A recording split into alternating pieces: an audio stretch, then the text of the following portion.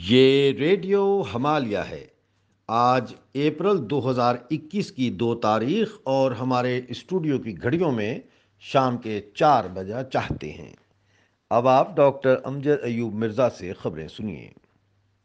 Voice for Baloch Missing Persons के vice chairman और इंसानी हकूक़ के आलमी शहरत याफ्ता बलोच रहनुमा मामा कदीर बलोच के दो भतीजों को उनके कज़न के बेटे और एक और शख्स के हमरा गुज्त दो दिन पहले गिरफ़्तार करके खसदार में कायम तफ्तीशी कैंप में मुंतकिल कर दिया गया है।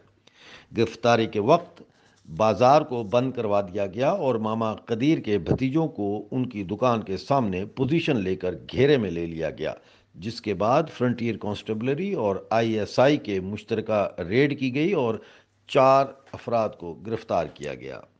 मुतलका थाने के मुतलका माफ़ कीजिएगा मुतलका थाने ने गिरफ्तारी के खिलाफ एफ़ आई आर दर्ज करने से माजरत कर ली। ताहम मामा कदीर के एहतजाज और इसरार पर इब्तदाई रिपोर्ट दर्ज की गई, लेकिन एफ़ आई आर दर्ज नहीं की गई।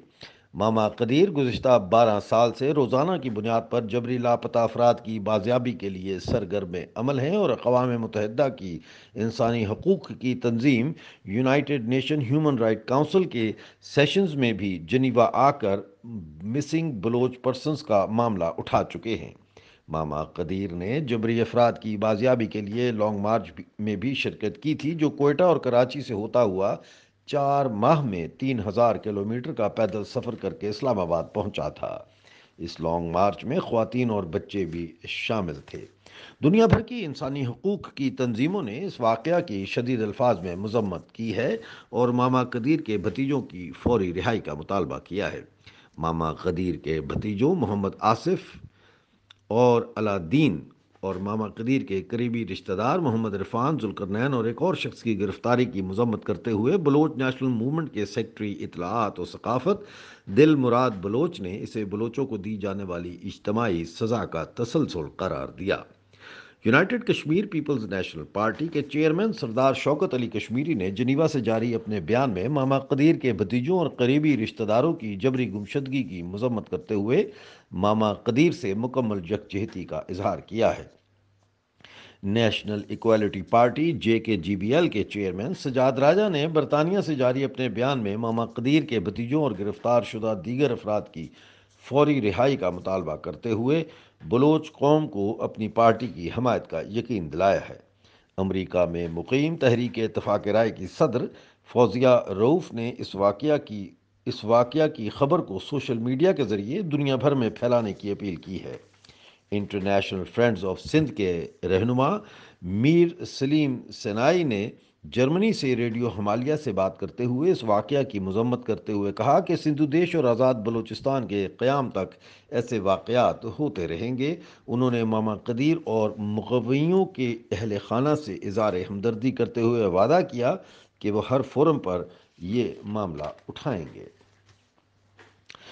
पाकिस्तानी मकबूजा गिलगित बल्तिस्तान के शहर अस्तोर में एक खातून बच्चे की पैदाइश के दौरान जान की बाजी हार गई। इस मौत की वजह अस्तोर में मेडिकल सहूलतों के फुकतान को करार दिया गया है। हालिया अरसे में गिलगित बल्तिस्तान में गिरती हुई मेडिकल कंडीशंस की वजह से अमवाद की शरह में खातर खा इजाफा हुआ है। पाकिस्तानी हुकूमत ने गिलगित बल्तिस्तान को आटे के इजाफी कोटा देने के लिए आटे की कीमतों को दो रुपये फ़ी किलो बढ़ाने से मशरूत कर दिया है। पाकिस्तानी मकबूजा गिलगित बल्तिस्तान में चल्लास के special production special protection unit के मुलाजमीन को पाँच माह से तनख्वाहें नहीं मिली, जिसके बाद उन्होंने पाँच अप्रैल को एहतजाजी मुजाहरा की कॉल दे दी है।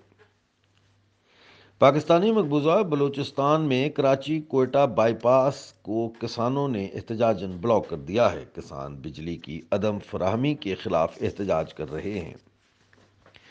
पाकिस्तानी वज़ीर अजम इमरान खान ने भारत से तजारत के फैसले को आज वापस ले लिया है। याद रहे कि गुज्त रोज़ इकतदी रबता कमेटी ने पाँच लाख टन चीनी भारत से दरामद करने की मंजूरी दी थी।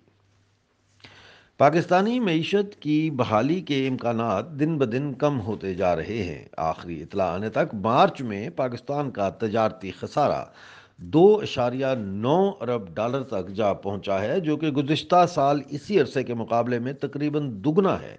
गुज्त साल पाकिस्तान का तजारती खसारा मार्च में एक इशारिया पाँच अरब डॉलर था। आप रेडियो हमालिया सुन रहे थे। रेडियो हमालिया की खबरें बर रास्त अपने व्हाट्सएप पर हासिल करने के लिए हमें zero zero four four seven four seven six nine three one two zero three पर अपना नाम और जगह का नाम व्हाट्सएप मैसेज कीजिए। आज का न्यूज़ बुलेटिन अपने दोस्तों के साथ सोशल मीडिया पर शेयर करना ना भूलिएगा। अगले न्यूज़ बुलेटिन तक के लिए डॉक्टर अमजद यू मिर्ज़ा को इजाज़त दीजिए।